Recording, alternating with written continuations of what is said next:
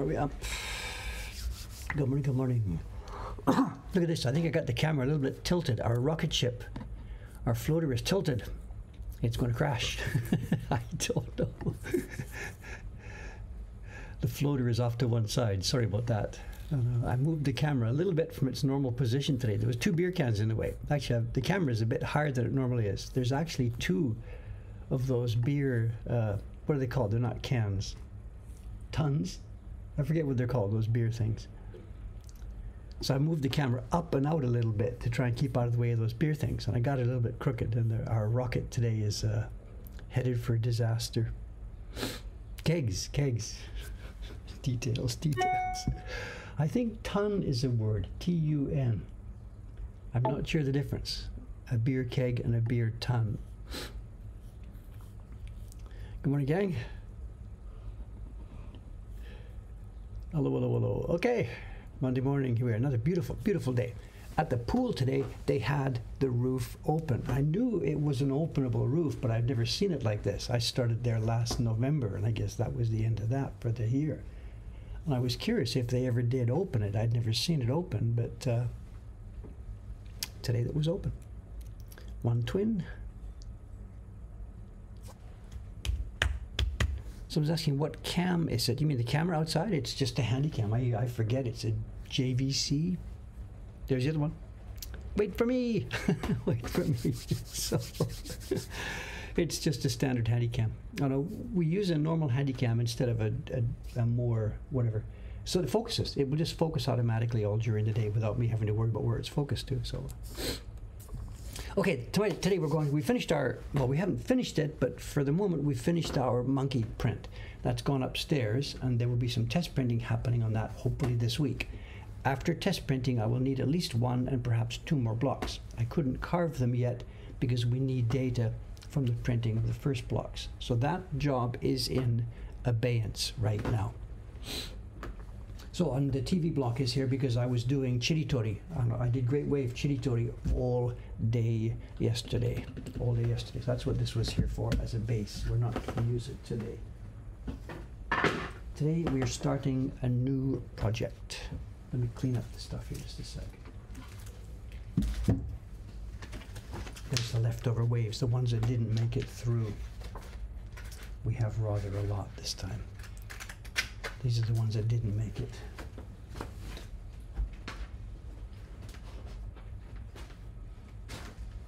Okay, before we start, or should we save this for the show and tell time? Let's save it. The the senjafuda prints from the last show and tell, they are all safely extracted, and we'll look at them at show and tell time, if I remember, or if you remind me.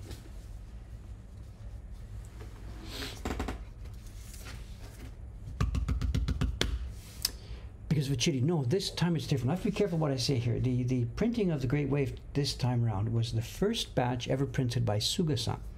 Suga-san is one of our one of our top guns, but our our batch of blocks, our block set for the Great Wave is a kind of a different weird block set. If you saw the videos, you know what it is. It's part of it is is mukuita solid wood, and part of them are plywood, and that means the the registration issues are fiercely difficult. So you've got to get used to that block set. You've got to know how to do it. So Sugi-san took it this time on the understanding that it would be a test. She would learn how to use that block set. There would be a lot of stuff that didn't actually make it through, and we would pay her for that just for experience, and then pay her the real fee for the prints that were made. And so it happened. We got about 40 good ones, and we got about 20 that were practice, and they will never see the light of day. But uh, there we have it. So.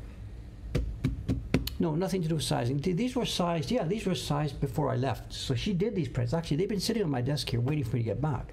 She did these back in the beginning of April, I guess. And in fact, the next batch is now already underway.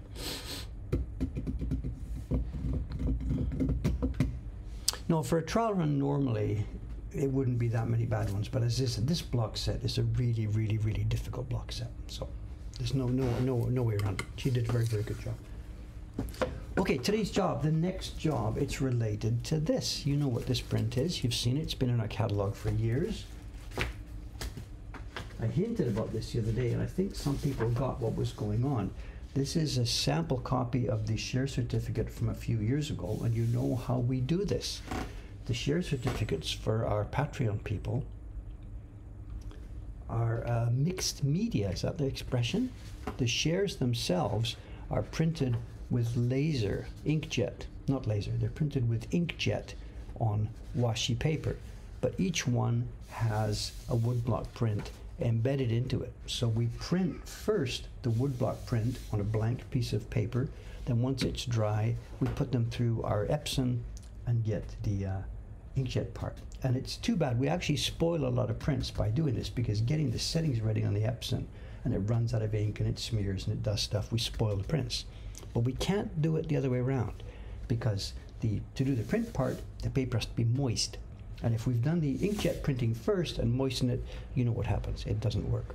So we print the woodblock prints first, and then when they're all done, in they go through the Epson. They get trimmed. Dave sits here, signs, and seals them all. We number them all, and out, out they go to the Patreon share people.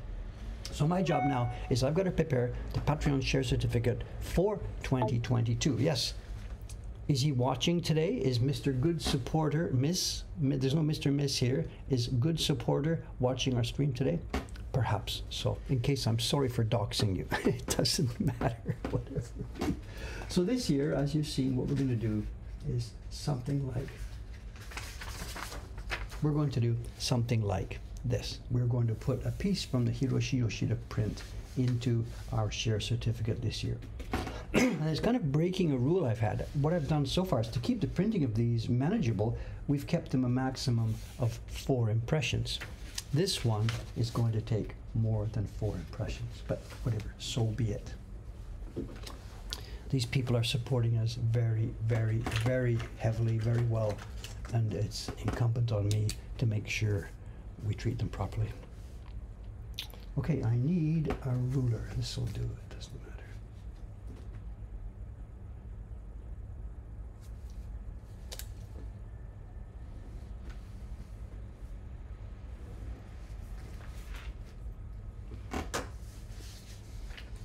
Okay, I printed this yesterday over at the, the copy shop. But this is in no condition to paste down because this is actually not the exact same size of the share certificates.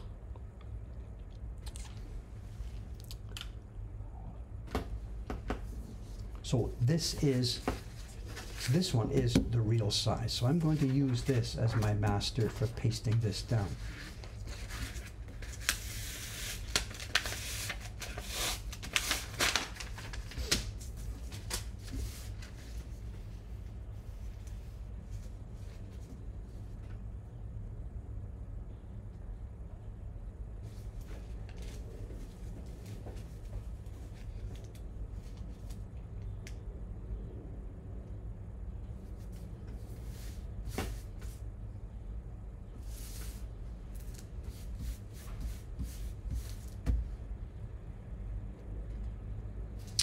Get the idea now. This is an actual share certificate. So this was one that was printed on the blocks a couple of years ago. So this tells me the registration where this oval is supposed to go. 27, no, no, no, no, it's not going to be 27. John is pulling your leg here, relax.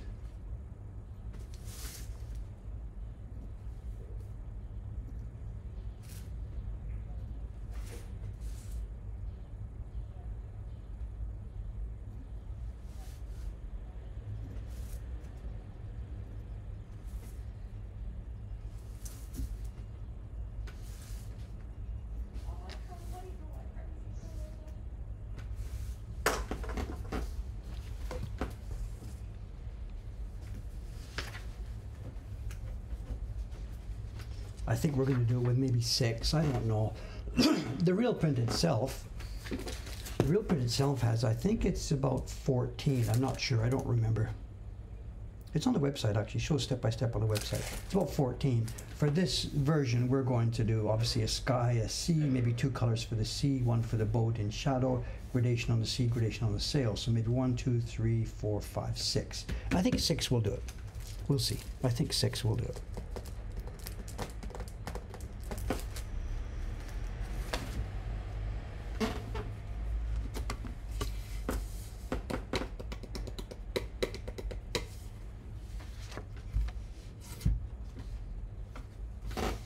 So this now will will if I glue this down on our block the normal way, we're going to do it upside down so that I can print one here, one here, and one more on each of the two back sides, and then get another piece of wood.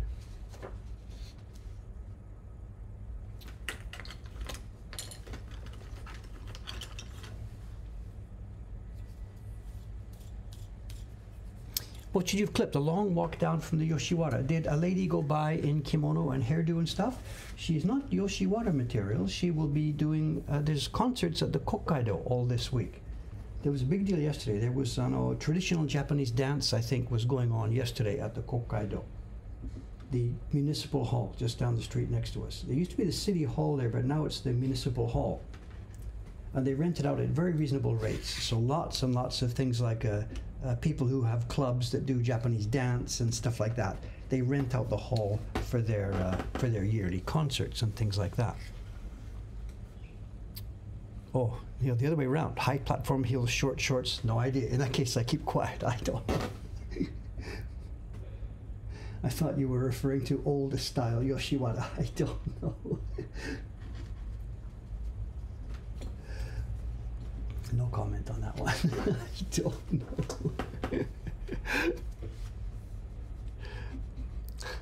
okay.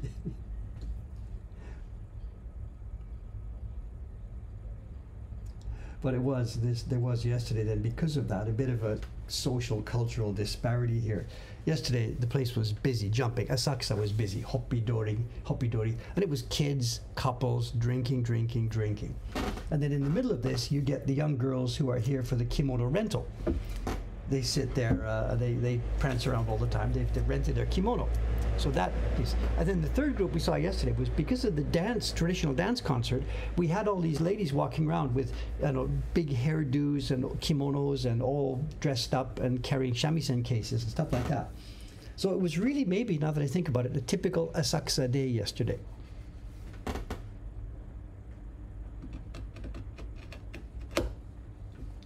Wine, women, and song. I guess now that I think about it. So, and of course the horse races were on. There was some kind of derby on yesterday. I forget what it was. So the place, the off-track betting center, was jumping. They were lined up. My God, they were lined up almost all the way down to our place here. So yeah, a very typical Asakusa Sunday yesterday. And Mokuhankan sitting here deserted and closed in the middle of it. The one thing that's missing from the equation is the foreign tourists, of course.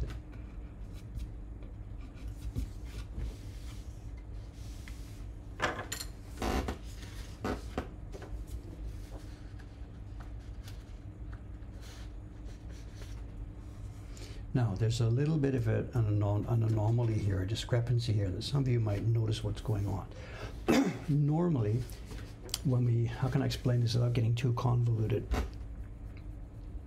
The wood blocks, when they're carved, and the finished prints are always different sizes. If you imagine a carved wood block to print something, we put ink on it, we put moist paper on, and we print it. The moist paper then dries and shrinks, and the finished print is smaller than the blocks. Now, what I'm doing right now is I'm taking a finished print from the share certificates from two years ago, and I've positioned my key lines on it for this year, and I'm getting ready here to sit here and put it into the registration marks. But this piece of paper is dry. It's smaller than what it was at the time that we printed it two years ago. So if I did this, if you make a carved block set, print from it, and then use the finished print for your reproduction, print from it, then use your finished print for reproduction, your print is going to get smaller and smaller and smaller as the ver versions go by. So what I have to do now, ideally what I should do with this is I should moisten this paper now to the same level as it was when it was printed.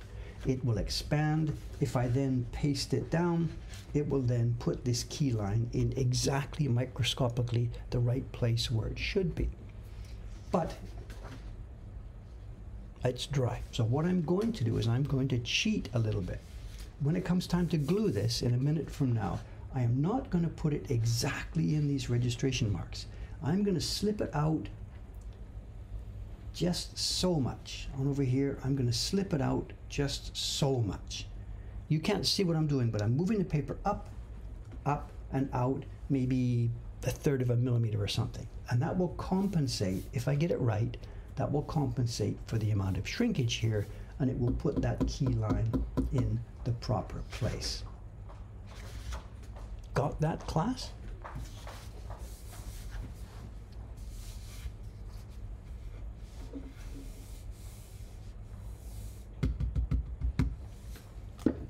Okay, now I haven't paid much attention to where the camera is. Okay, I got you, I got you, I got you. Let's do this.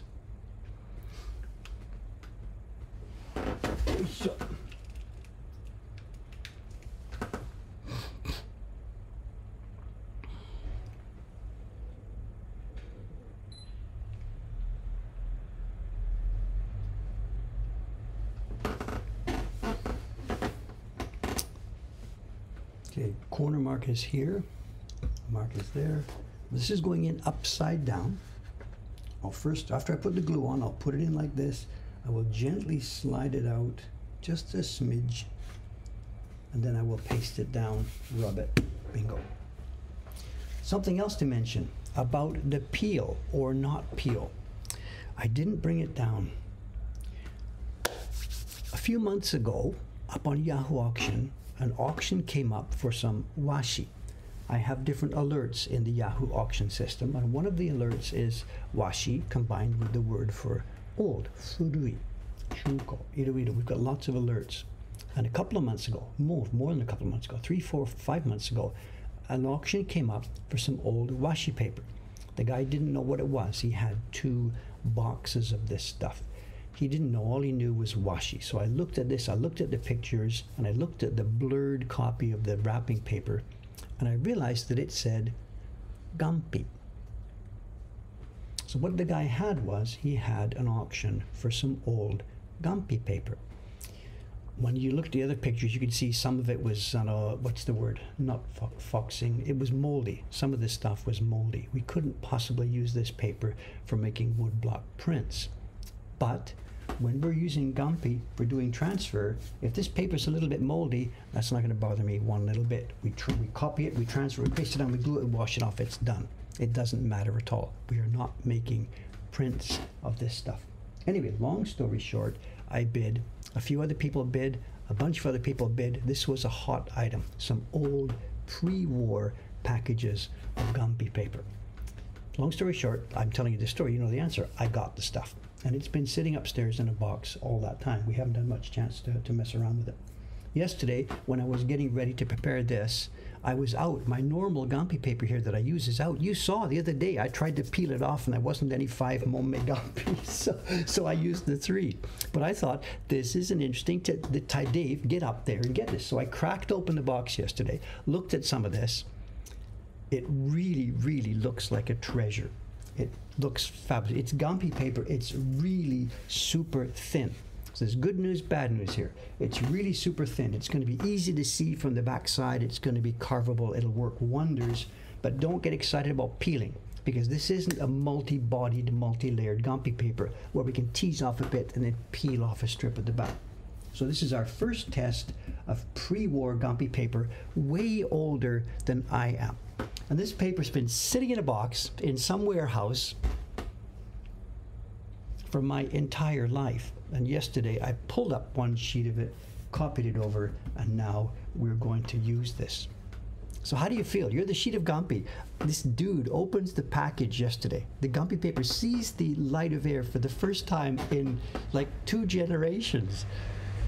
Since 19, whatever, I don't know how old it is. It's, easily pre-war. So this is easily 80, 90, perhaps 100 years old.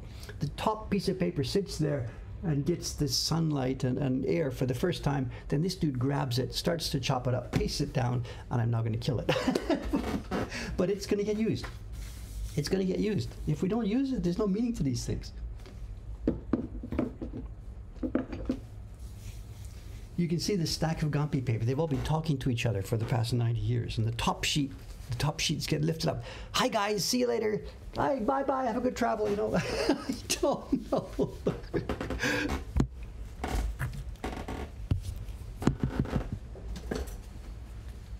Check. Check. Got it? No mistake?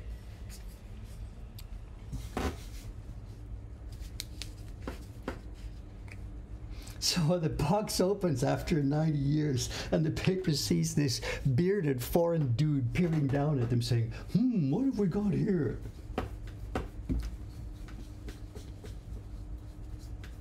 But then on the other hand, when you think of all the places that box could have gone, this is the best place on the planet. That paper is going to get used properly and with meaning and with appreciation. There's that point of view, you know. So I'm being sarcastic about this, but actually, that paper, assuming it turns out to be usable.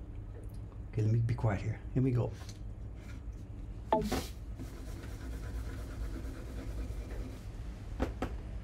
we're going for baren. Who needs a baren?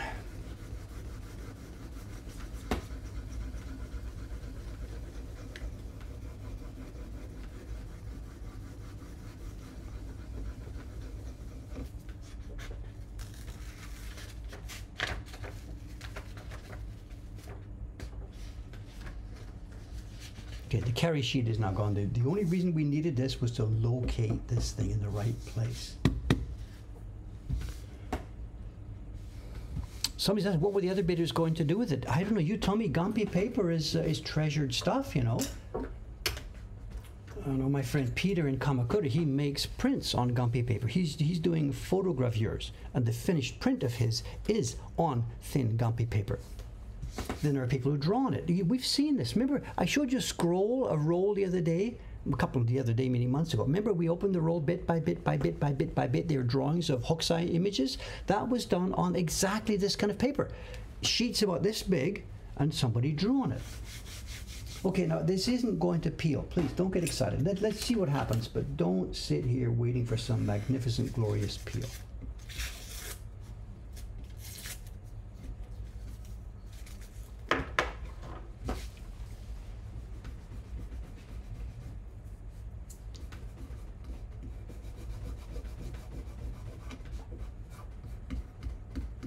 Oops, no, be careful, Dave, be careful. It's but no, it's not going to peel. We're just going to simply peel it back the traditional way. Look at this. You can see what's happening. Some fibers are coming, but not enough to hang together to make an actual separate sheet. This is totally the normal way that people put use Gampi paper for printing hanshita.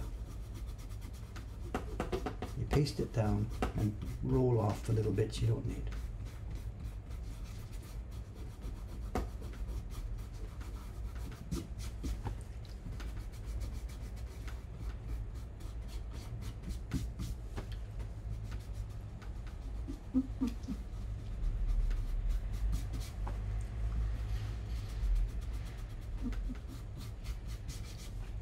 Okay, this is what we're doing here right now. This is much more useful for showing people how Japanese prints are made than that peel thing we do.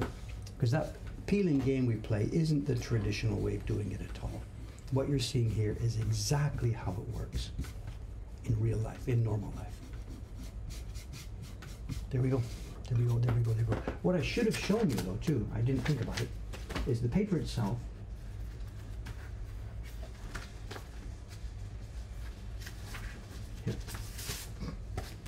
This is the stuff. This is about, the sheet was about yay big, and I cut two pieces off it. So it's not uh, A4 size. Yeah, if you take A4 and a little bit bigger, that's the size of these Gampi sheets.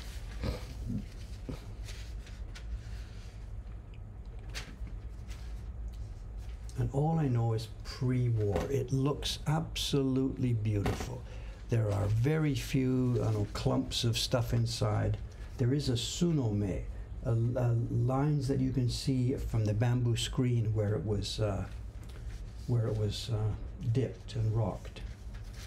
It looks absolutely beautiful. I think calligraphers or somebody who was painting or people like me, woodblock printmakers, this is an absolute treasure. Absolute treasure.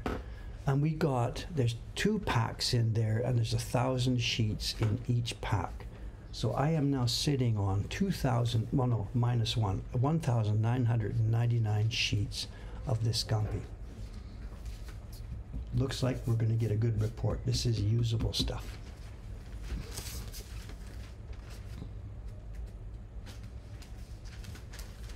We had to pay for it. It wasn't free, but considering that there's 2,000 sheets, the cost per sheet wasn't all that bad.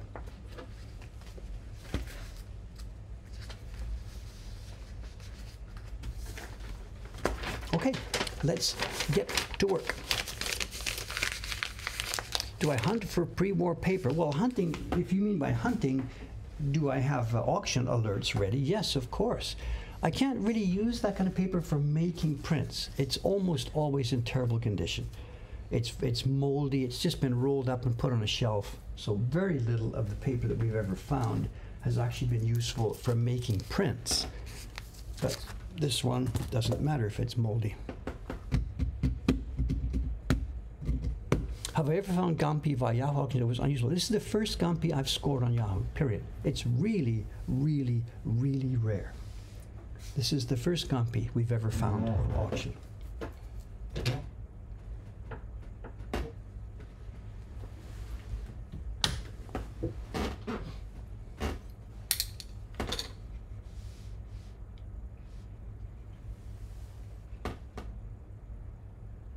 Oh, oh, oh, before we carve, I can't do this yet. Just a minute, just a minute. Before we carve, one more job to do.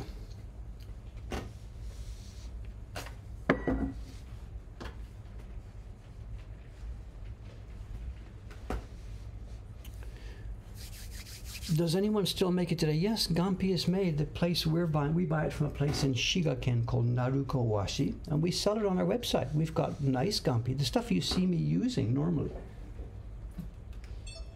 Gampi is available. It costs, but it's available.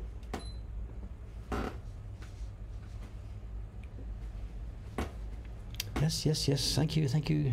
Camera needs refocusing. I'm trying to keep on this.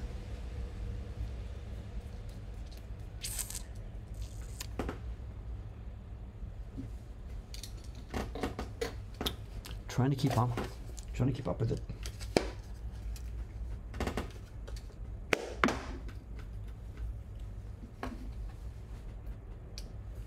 The knife is not broken here, not at all. It doesn't need the 400 stone to re reshape it.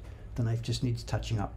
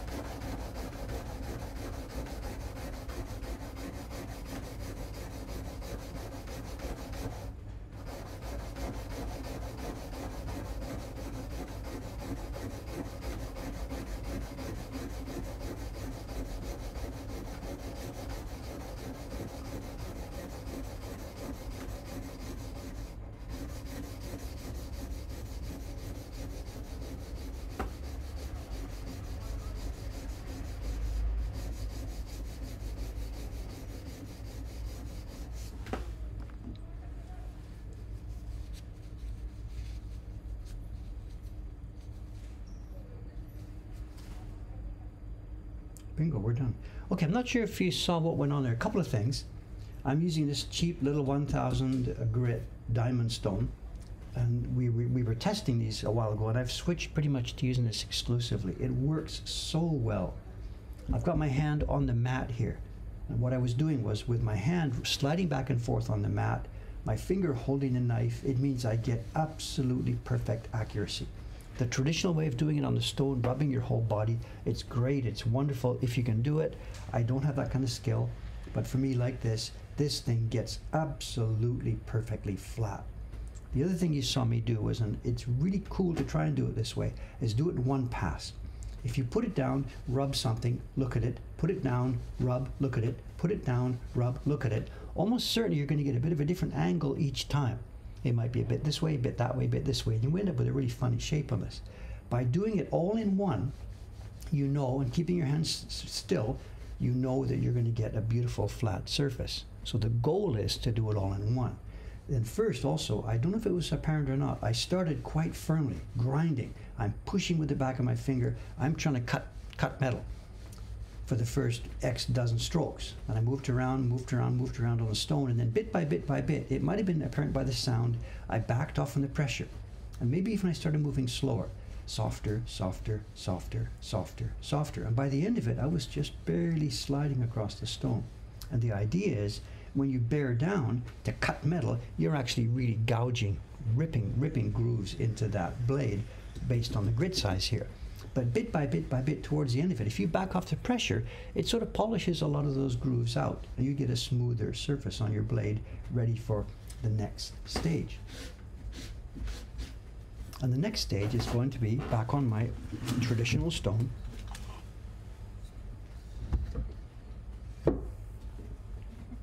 Just to put the final edge on it. And honestly, you know, we could, oh my God, am I, am I actually saying this in public? You can actually, you don't need this. This blade now, sharpened on that 1000 grit, that would do this job. I could do this. I could start carving now and it wouldn't bother.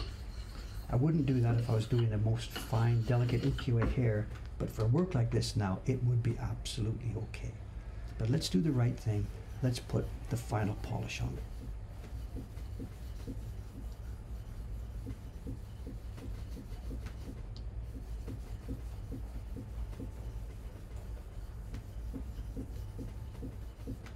Course, take off the burr on the back.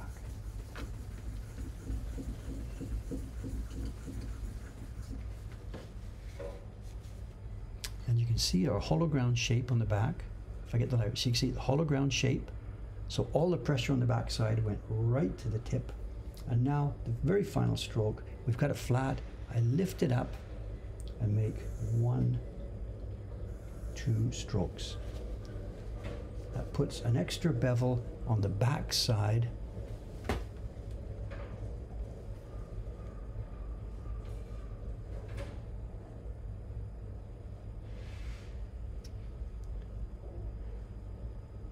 There you can see, there, look at the light. See the light shining? There's a white line along the back side. That's an extra bevel. So we've got a flat surface, a tiny bevel on the back, the main bevel on the front. And if we didn't do that bevel on the back, the edge would be too sharp and it would crumble as soon as I put it in the wood. Very nice sharpening, considering how out of touch I haven't done this for weeks, months.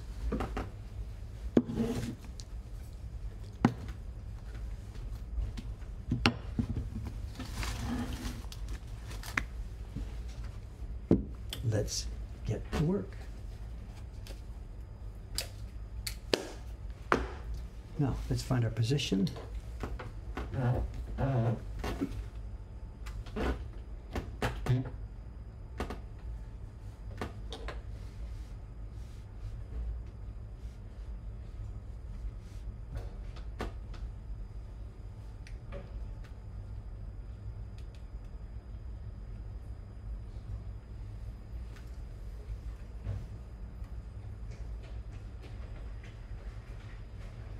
Is that going to do us? Okay.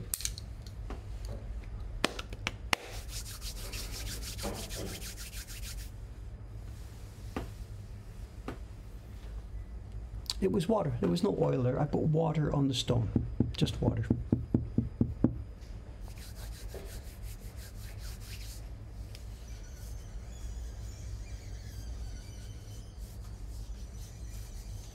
What's the question about the full size block? I know we're using a piece of wood here that's almost the same size as the print, but we're only using one part of it. So I'm going to later, after I finish carving this, I'm going to turn the block around and use it heads and tails. Then I'm going to flip it over and we're going to do two more colors. So we're going to do four colors on this same piece of wood, and there will be four sets of registration marks on this block. So rather than one, two, three, four pieces of wood, we're going to use the same piece of wood for four colors because it's such a small area. If you have a full size color area, full sky or a sea, of course you can't do that. These are the new share certificates for 2022. Yes. Are they late? I don't know. I think May or June is about usually when these happen.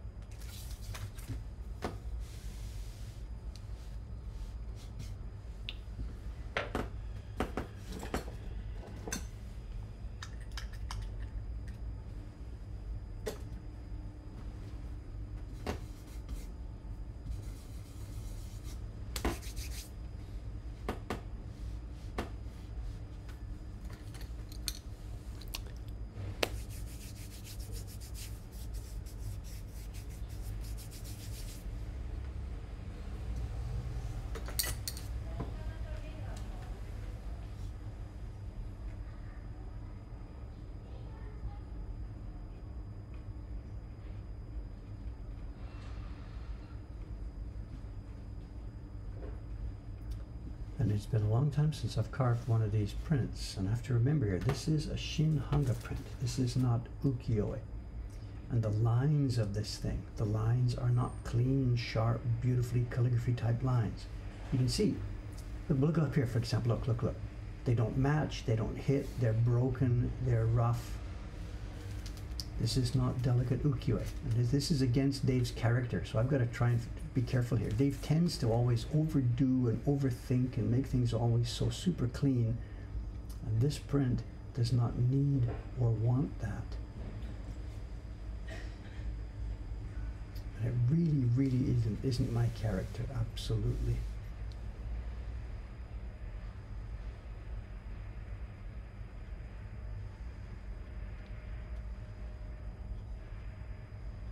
So get them looking natural, but not looking, I don't know, badly carved.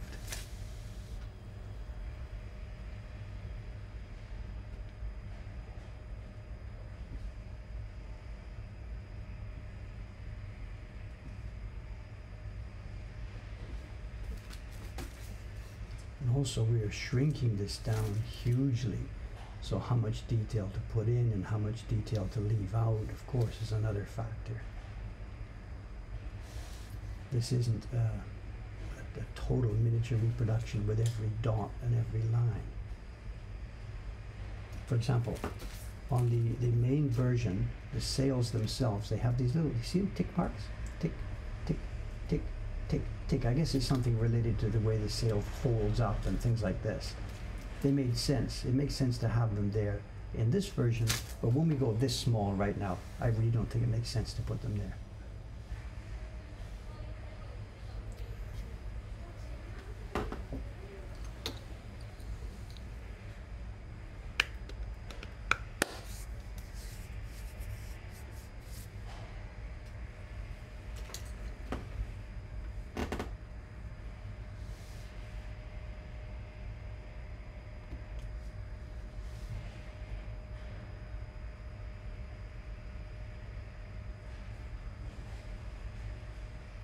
There's a vacuum cleaner lady back at work. They were busy over the weekend, at that hotel. Lots and lots of people seeing, you know, they come in. I said, it sucks I was busy yesterday. And it was busy mostly with Japanese people. So we've got lots and lots of domestic tourism. People seem to come to Tokyo for the weekend. The airlines are all offering bargains and stuff like this. So that hotel was busy Friday night, Saturday night, and, and maybe, I don't know, last night. I don't know. And it's now quiet again. It's not a business type hotel.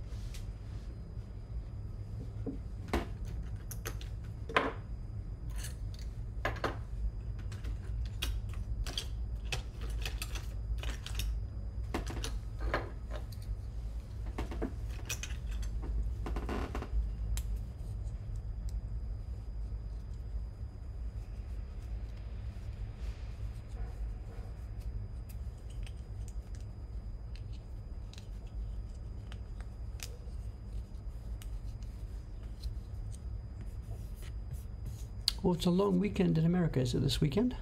So, so, so it's a holiday evening today, is it? Tomorrow is a holiday, Monday?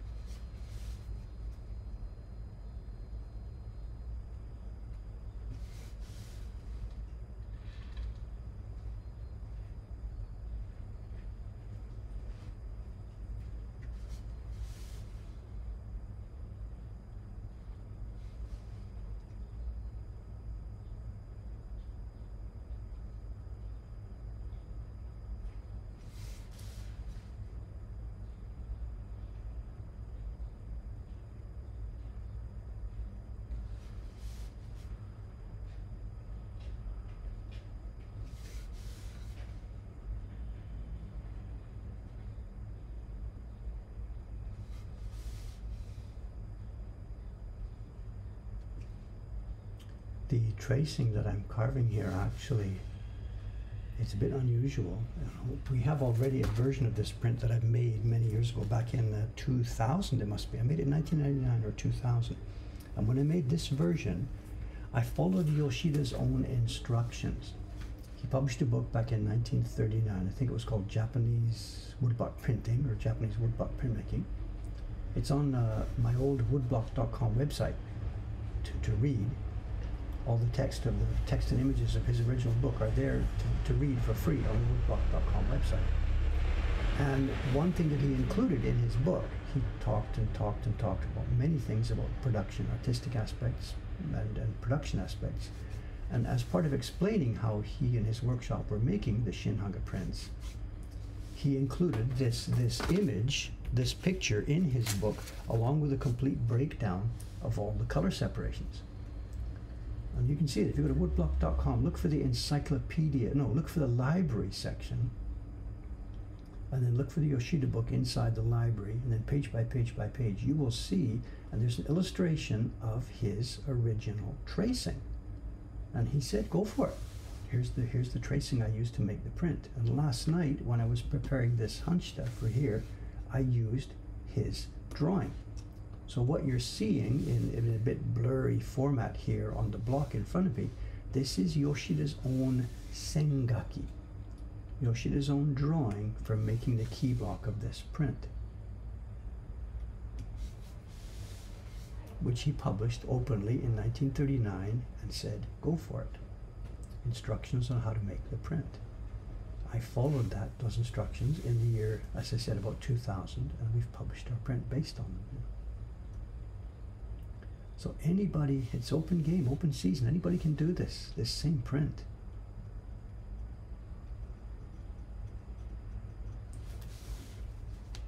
His color breakdown, showing where the what colors were mixed, showing how the gradations were applied. All that information is in his book.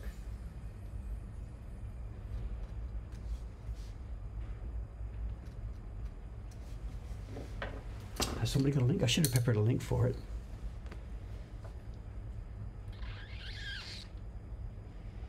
Yeah, it's in the encyclopedia section too. Yeah, it's there as well. It's in the library. Yeah. Yeah, number seven. That's right. There are two things. Ha, ha, sengaki. Sen is line. Gaki is draw. The line drawing. So the sengaki is the artist sitting on a piece of paper. There's the line drawing. It could be for a painting. It could be for book reproduction. It could be for making prints. Whatever. Sengaki is the drawings that the artist's drawing. Hanshita literally means wood wood below, it's upside down. Hanshita is the piece of paper that we then paste onto the wood for carving. Sometimes they are the same thing. The artist's sengaki could be on thin paper, which then gets over there, draw the lines on it, put the calligraphy in, bang, paste it down, you're away to go. Or the hanshita could be prepared using the artist's sengaki as a master reference copy. Somebody could trace it, do this and that. So they're the same, but they're not the same.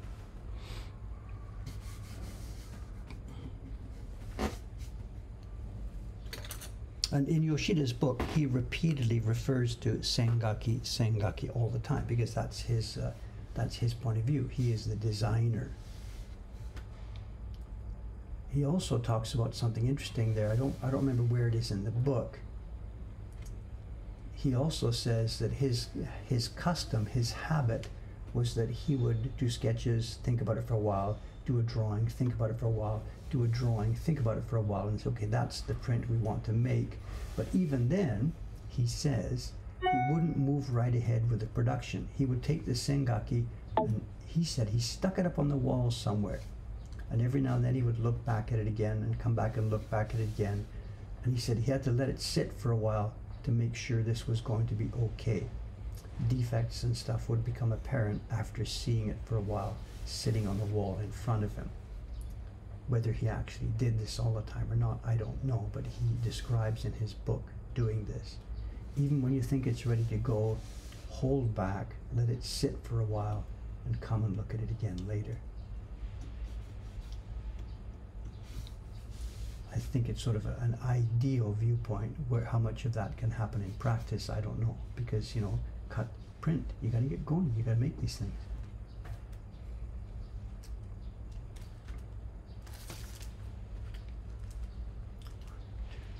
There's four of those things. Should we put some of those lines on? They're right here. Suppose we just did that. One, two. Where's the fourth one?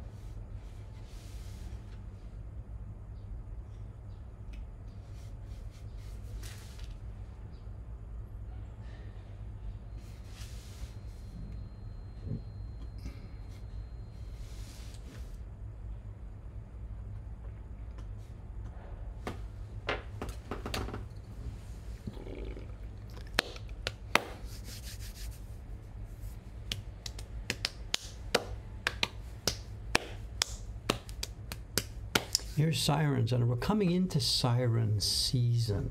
I know. it's hot. It's going to be really hot. And uh, there's a thing, you know, every year this happens here in Tokyo, well, all over Japan. X numbers of elderly people, they either don't have an air conditioner or they're not using an air conditioner or whatever. And it's, it's a thing here. I think probably not just in Japan, I think in other countries as well. Every summer you see quite a number of uh, elderly people who don't make it through because uh, heat stroke or whatever.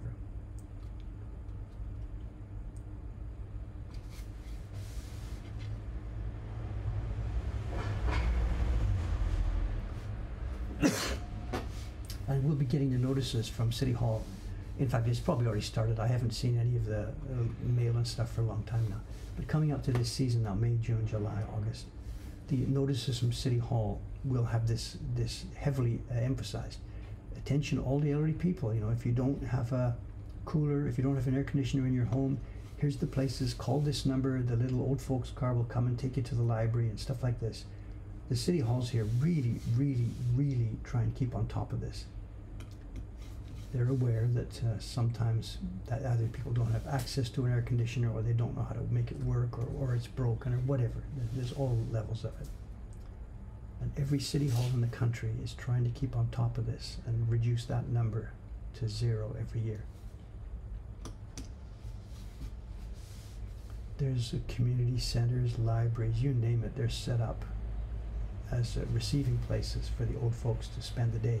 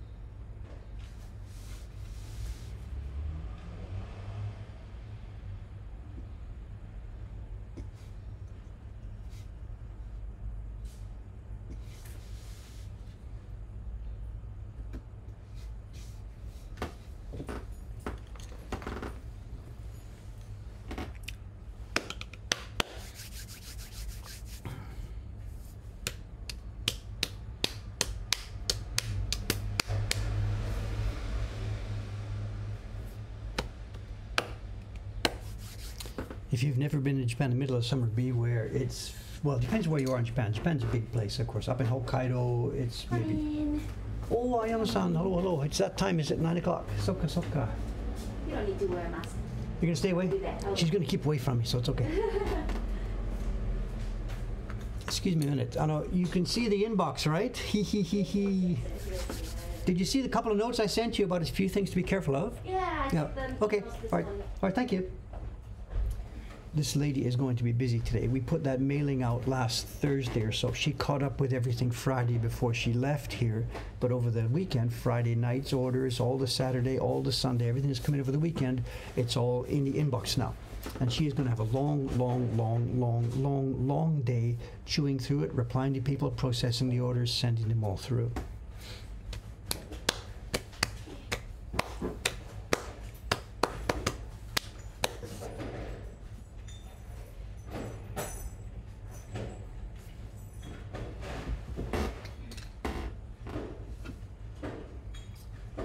Other thing too, I understand, eh, I know, even when it's a full inbox, please don't, you know, go into automatic mode. You know, one by one. Take time and answer carefully. I will, I will. You know, if it doesn't get finished, it's okay. Just uh, please try and keep avoid mistakes.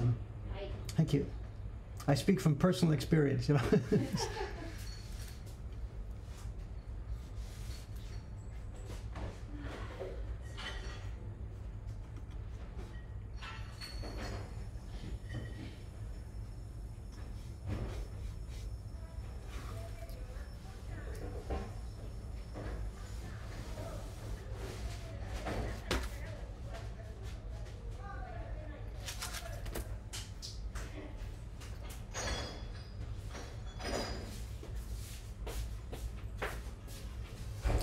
was your weekend? uh, good, good, good. What did I do? Well, if you can't remember, I can mean, it probably means it was a good weekend, right? Yeah, I think so. What did I do actually? Ah, I saw my friend. We went to this uh, Mexican place uh, near my house. Uh-huh. It's one of my favorite restaurants in Tokyo. Um, I ran yesterday. Running, jogging. Jogging, yeah. Soka, soka. 6.5 kilometers. Hey, hey, hey! That's my record. Yes. Really, Kilometers, jogging? Yeah. J- Practicing for a marathon? Uh, uh, uh, uh, probably. Soka, soka. Uh, for me, it was walking yesterday in the early morning before it got too hot. Uh-uh. I left here about six o'clock, got back about ten. I went to Eitaibashi, nice. but half mistake. I walked halfway, all the way down on the shadow side of the river, and I tried to come back on the west side of the river. But even then, eight o'clock in the morning, the sun was so hot, so I had to switch over to the shady side again. So, it was so yesterday, almost summer. yeah, the machine told me sixteen thousand steps. So I think like, I can't swim on the weekends. Because the pool, I can't get the pool. Oh, no, my, my ticket. I, I, I only have a weekday ticket. So, Uh-uh, so, so, so. Eitai Bashi. John. John, John, John. John here. John is a John is an Eitai Bashi fan. I walked across both bridges yesterday. I walked down the river to Eitai Bashi, crossed over, and then walked up a little bit and crossed over again on Kiyosumi Bashi. Kiyosu, Kiyosu Bashi. Kiyosumi Bashi. And I can report, John's a fan of these bridges. They are in beautiful, beautiful, beautiful condition.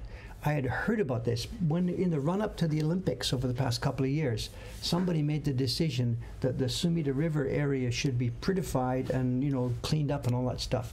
And they repainted and rebuilt actually all the bridges between Asakusa and the bottom, Eitaibashi, and they put new lighting systems on all of them and they are beautiful, beautiful, beautiful, beautiful. The paint is gorgeous. The bridges look in perfect condition.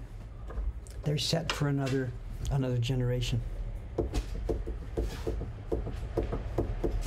An evening photo with Eitai Bashi. Yeah, well, they're all lit up now, all the way up. You know, they would be a real good little album to take. So.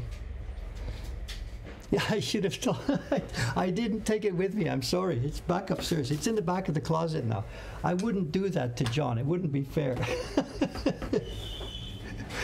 a sky photograph of his favorite place in Tokyo. Yeah, I, I should take a sky photograph of the sky tree.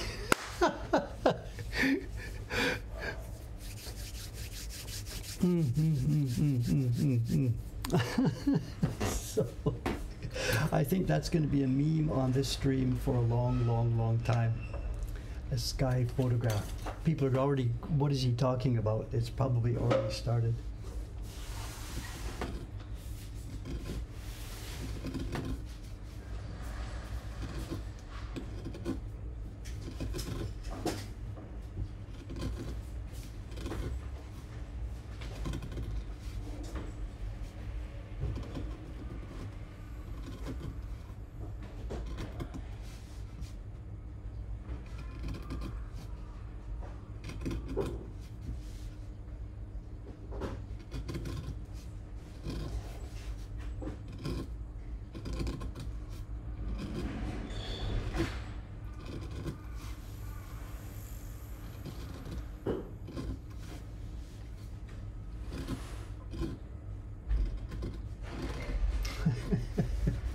I asked her, "What did you do on the weekend?" And she says, "I can't remember."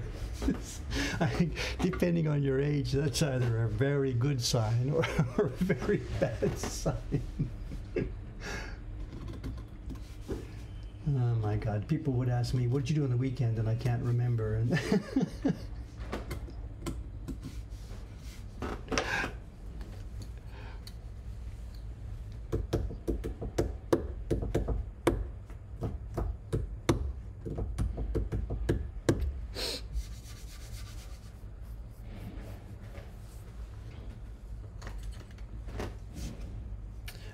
Two bridges, the Eitaibashi and the Kiyos, Kiyosumibashi. I cannot remember the name of that one. Kiyosubashi, Kiyosumibashi. They're beautiful, absolutely beautiful.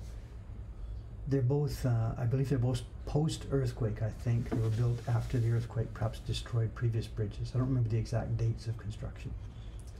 They are the first, I think they are the first generation of new bridges post-earthquake. And I think also they're sort of done on European models. One of those, I don't remember which one, looks like a Battersea Bridge in London. It was an era where Japan was still doing most of its architectural stuff with imported architects and designers from Europe.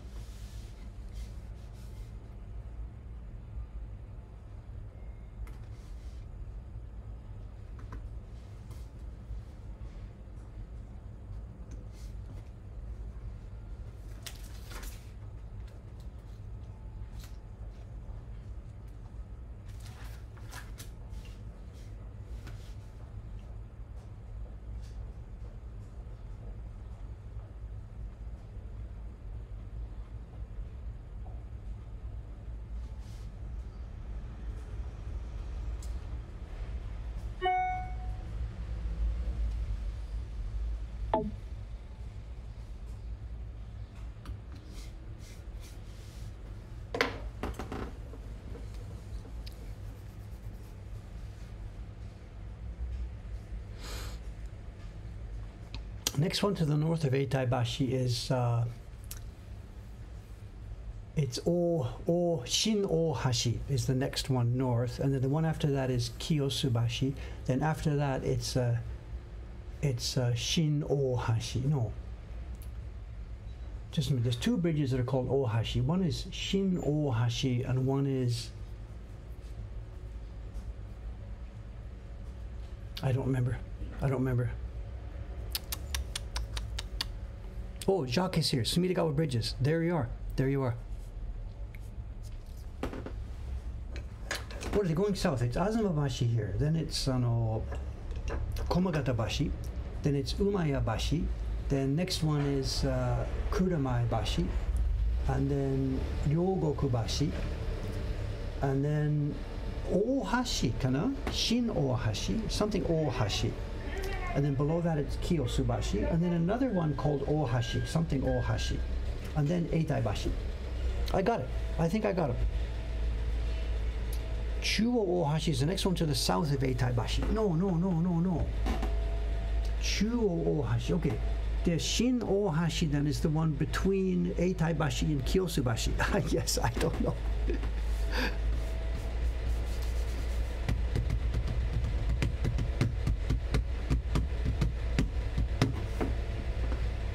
This is the pickup for the Korean hot dog place.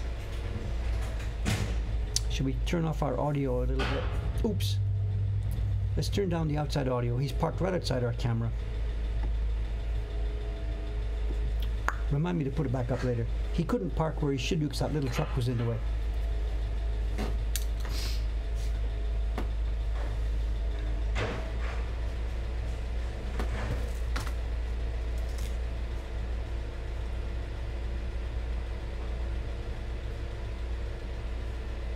This is complex.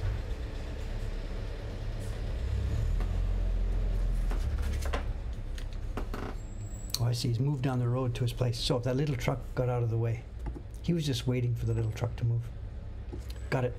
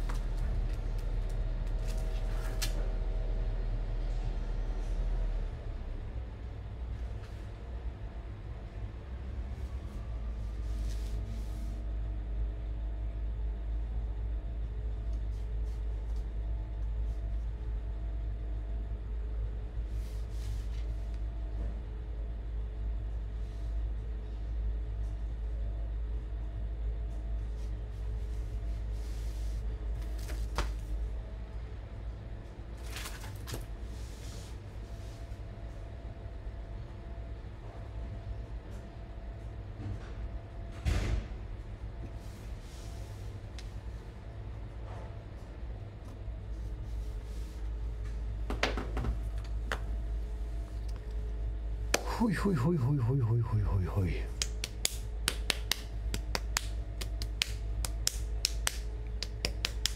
Is there going to be a gradation on the certificate? I don't know. I know. I really don't know. There's lots of ways to do this. As I said, I'm thinking there's going to be about six blocks. I have to balance the time spent on, you know, what.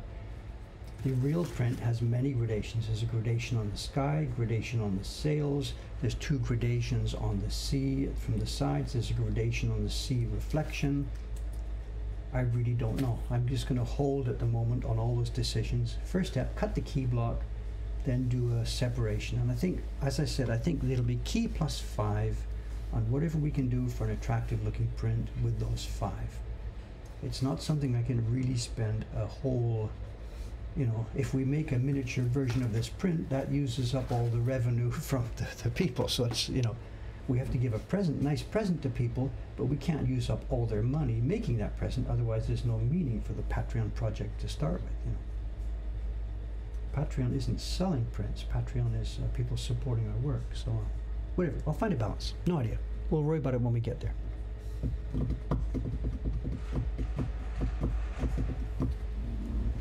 We'll make some decisions when I get there, and probably I'll go overboard as usual. But we'll we'll we'll see what happens when we get there.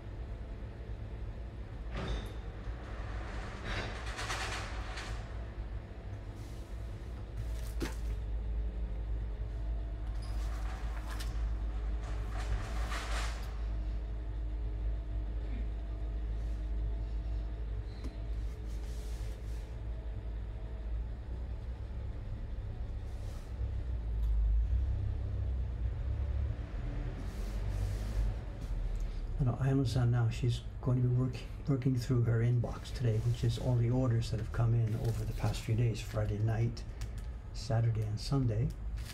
And uh, lots of people, of course, are still ordering the new print, the Descending Geese print from the Eight Views of Cats. And uh, as I told in that email we sent last week, and has since been confirmed, the original printing batch, we did, I think she did 50, 58 copies the original printing batch are now, of course, uh, all spoken for. So I changed the website during the weekend to reflect that and to tell people that uh, if they order the print now, they're not going to get it shipped, you know, today, tomorrow. It won't be shipped for 10 days to two weeks from now. And our printer Chiharu-san has started working on the next batch of them. It's going to be a hugely successful print. I'm so happy with it.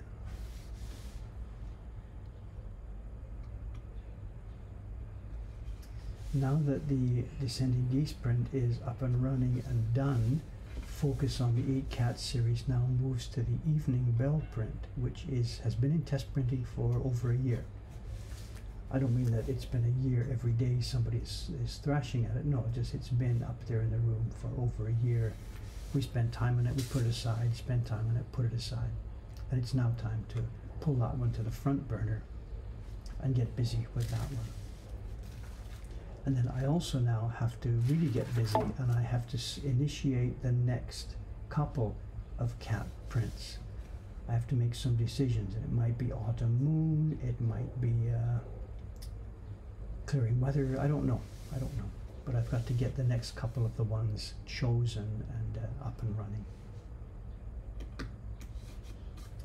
It's on my to do list.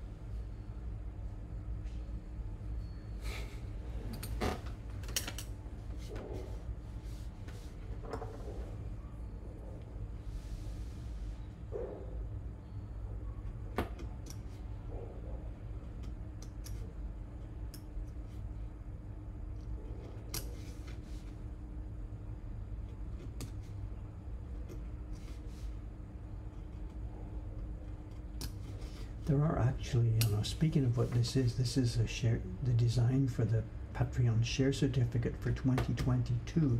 There are still on my desk upstairs some share certificates, the previous one, that are waiting for me to sign and send out. So it could be actually there's people sitting here who are on the Patreon campaign and who are due a share certificate, and this is not the one they're going to be getting. They're going to be getting, you know, if it's up, if it's from before May or something, they're, they're going to be getting the last one, the previous one. So uh, I'm trying to get this done in time so that when it is time to make the switch over, we get I get the switch over. But uh, there are still some copies of the previous Patreon share certificate on my desk waiting to be signed and processed.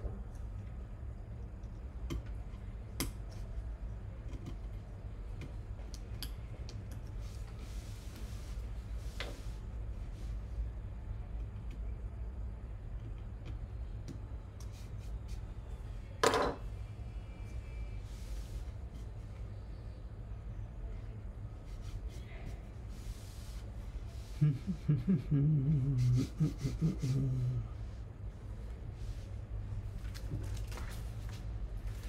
one is this?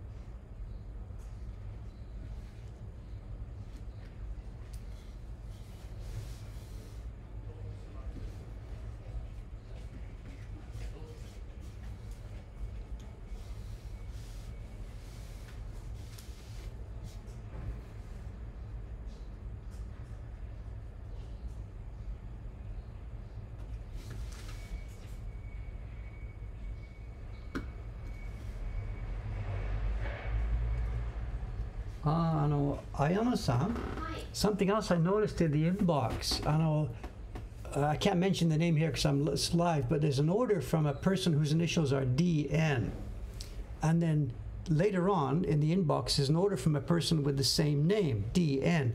It's not the same person. It's not the same person. Have a look, and I, you before you start answering, have a look yourself. I think it's a coincidence. The same named person exactly the same. First name. and it's name. it's not the next order it's the one after so have a look and tell me what you think it looks like a completely different person just be careful Okay. Oh. it looks like an extraordinary coincidence Wow.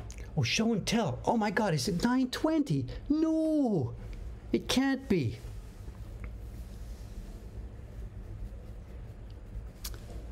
okay okay okay Okay, okay. I had no idea. I was thinking it was about not 8.30. I knew it wasn't 8.30.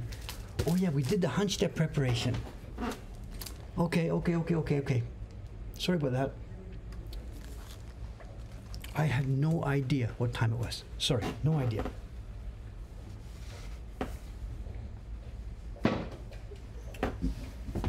Right. Do you see it? Yep. It's different people, right? Different people. That's incredible. That's incredible.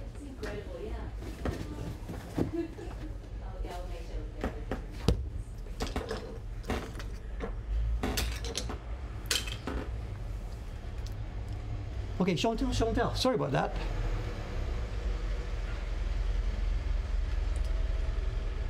I did put the sound back on the street camera. As soon as he drove away, I put it back up to where it was.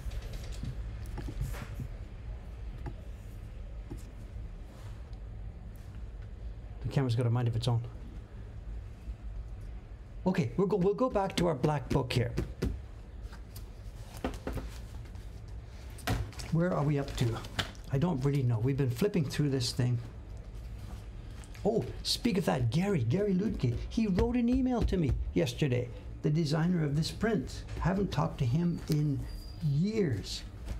He's retired up in Door County, Wisconsin, and he's still actually active.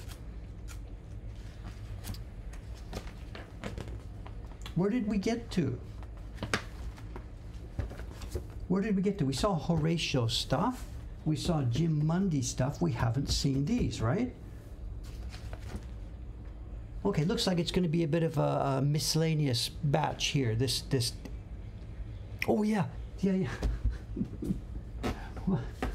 I also forgot these. Okay, okay, okay. okay, okay, okay, okay. Let's uh, let's put a bookmarker in here. We'll come back here. Hi, quick, quick, quick, quick. Let's zoom in. Those of you who were here last time, you saw these. We are now going to have a look at them. Just a quick zoom close up. They came out of the frame in seconds. In fact, after we finished the, the stream the other day, I closed the stream, looked at the frame, opened the back, and not 60 seconds later, the prints were out of the frame. The guy had put them in there with some little bit of reverse tape. He'd stuck them on the top, and they came out of there in seconds. Just seconds. So let's take a quick boo through these just so you can see what you couldn't see yesterday. And it's almost certain it's kabuki. This is Kanjin Cho, which is one of the most famous kabuki plays ever done. They're all clearly, these are kabuki episodes based on different aspects from Japanese culture. Let's just skip through. Can we see the embossing? They're beautifully, beautifully embossed. Nice quality paper, beautifully printed, perfect sizing. I wish we could do this. I wish we had paper like this and sizing like this and wood like this. Oh, keep quiet, keep quiet, keep quiet. Tell you what, let me slip, let me skip through twice. We'll go through once. You can see the full. Here we go. We have uh, obviously a matsuri, a drum, and a, a like a not a lion dance, but a dance of some kind. I cannot read this one. I'm sorry. Clearly, another kabuki dance episode. We have perhaps a famous kumadori, and I, it looks like five something. I don't know. I can't read it.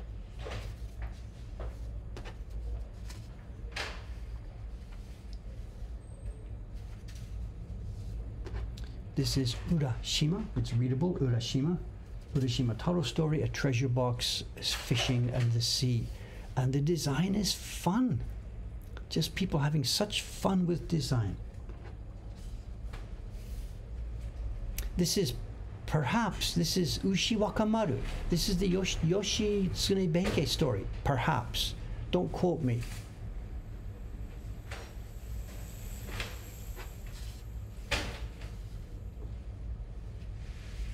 No idea. These are such, so beautifully made and so beautifully printed. Look at this. Why do the gradation twice? Why not just print the purple background? You know, why go to the extra trouble? Because it's beautiful and because the people who commissioned it, they knew, they knew what you were capable of and they wanted to see beautiful work. Beautiful blob here.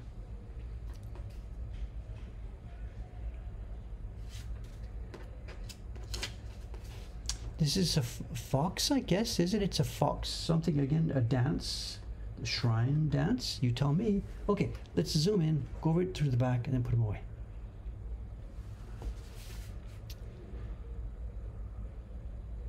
the extra touch, the yellow on the chest there. That's not a misregistration. That's a separate, it's carved on the same block as the helmet. So nicely done.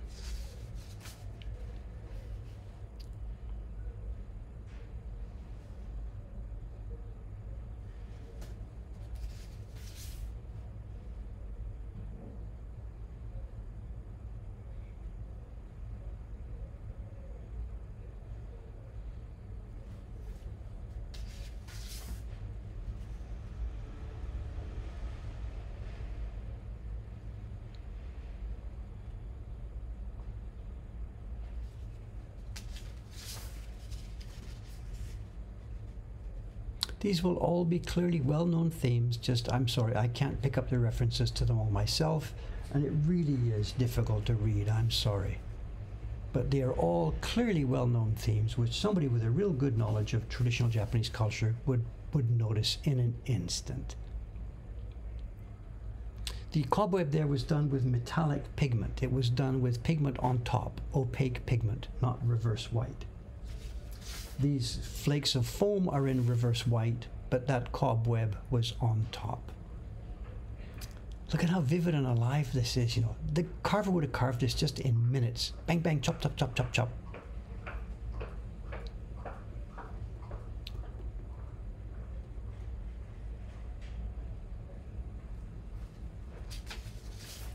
So we have a mix. We have references to Japanese traditional dance, to kabuki, to folk tales, to uh, Noh plays.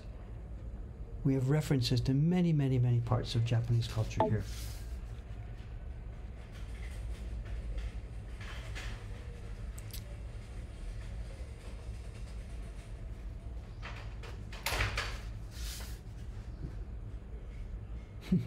Good fun and beautifully carved and beautifully printed.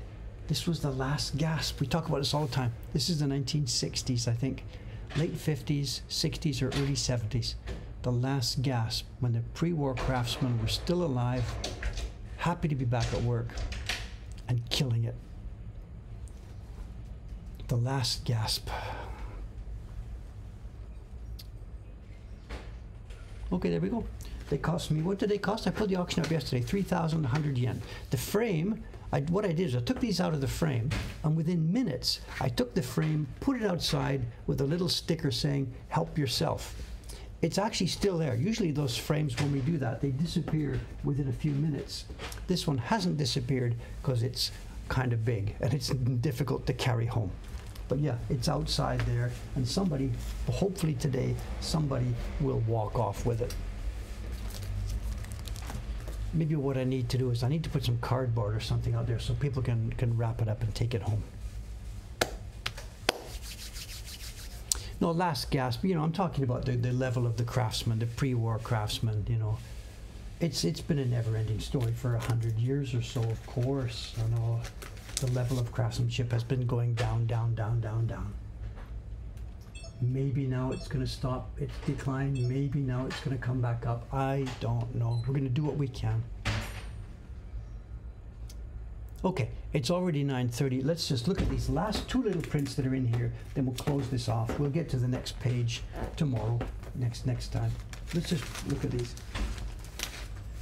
And these are random prints. First one we have, this is from my friend in Kyoto, Richard Steiner. He's been here way longer than I have. I'm not the oldest foreigner here doing woodblock printing like this. Richard Steiner's been here since before me. He came, I believe, as a missionary, and this would be oh 1970s, late 70s or early 80s, maybe late 70s. And he set up in Kyoto.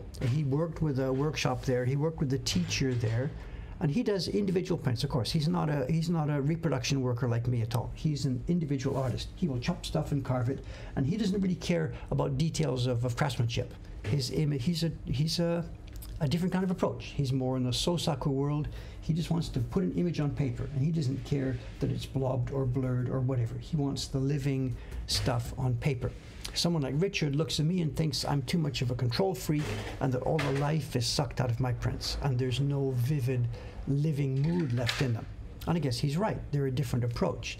I look at Richard's stuff and I say, it may be living, but couldn't you make it just a bit more carefully? it's completely, completely two worlds, whatever. So he's a real nice guy. I'm 70 this year. Richard must be 80 this year, 80 or 81. If you Google it, Google it, Richard Steiner, Kyoto, lots of stuff comes up. He might be struggling now, I don't know. He's been teaching it for many, many years. He's made a living mostly as a teacher and as a guru doing it. Super nice guy. And uh, the prints he makes, I don't really understand them. But uh, what, what can we say? You know, it needs, uh, it needs all different types in this world. And speaking about 1970s, this one, this is different. This is Lynita Shimizu, uh, an American lady. She has a last name Shimizu because a million years, uh, uh, you know, when she was younger, she married uh, a gentleman in America uh, whose name was Shimizu. But she is American, American, American. She came here in, I believe, the late 70s, also went to Kyoto, found a teacher, learned about the techniques, and then went back to America and has been practicing the craft in America for as long as I've been doing it here in Japan. She is a super nice lady. Somebody give us a website, please. If you type Lynita Shimizu, it's whatever. Her website is Lynita Shimizu Woodprints or something like this. You can find them. She's living in, I believe, Connecticut and has a really nice touch. And she would be, let's do that. Can I say that? The in between. I sort of half jokingly criticize Richard because although his prints are original, I feel frustrated because they're not made so nicely. Richard is frustrated by my work because it's made nicely, but it doesn't have an original feeling. Lynita is actually in the middle there. All of her work is original. She doesn't do reproductions. She makes work with meaning and stuff, and yet she makes it nicely and carefully. So maybe someone like Lynita is actually the best balance here between beautiful craftsmanship and making prints with meaning. There's going to be more of her stuff in this folder as we get to it. And if we don't get to it, we'll go pull some off the shop because we have a bunch of her prints in the shop and on the catalog here. She is ace. She is ace. She's about my age, I guess. I'm not quite sure how much longer she's going to be doing this. Maybe she's going to retire soon. I don't know. Or maybe she's going to keep going. But for the moment, let's let this little print stand as a marker for her work, which we're going to look at more as we get through this book. Let me focus on this a little bit more carefully.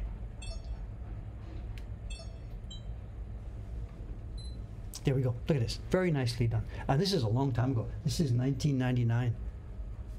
So this is 20, 23 years ago. So she's done lots and lots of different work since then. She likes chickens. Yes, somebody said she likes chickens, whatever. She's got a huge backstory, super competent lady, super nice. Our worlds are a million miles apart, so I've only met her once or twice. She would be really nice to spend a lot more time with. Anyway, that's enough. Let's finish off with this. Today's Monday. I'll be back here now on Thursday, and you know what I am going to be doing.